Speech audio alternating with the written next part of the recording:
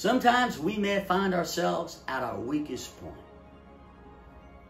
unsure of how to handle everything life throws at us. Life can be a difficult journey. And we may feel hopeless. You may find yourself lacking, unfulfilled. Sure, every once in a while, you may have a good day, but you still feel lost and you don't know why. Nothing is right in your life. Maybe you're unemployed. Maybe you don't have any friends, no future prospects. Wherever you fall in the spectrum, it's simple. You don't have God in your heart.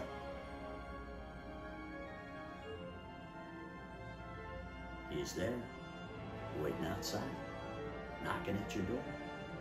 It's cold outside and raining. It'd be rude not to let him in. If you're hearing this, it's because God is calling you. Yeah, He's calling you now. And all you need to do is close your eyes and listen.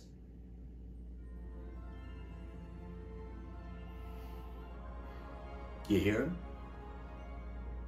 He wants to be inside you. All you have to do is start that fire in your heart, make it warm and toasty before he can enter it. And what do you need to start a fire? Wood. But not just any wood. Miracle wood. And I will send you this special wood for free right now if you call right now in this moment. This wood is an actual piece of the cross where our Heavenly Father was crucified and rose again. Today, a piece of history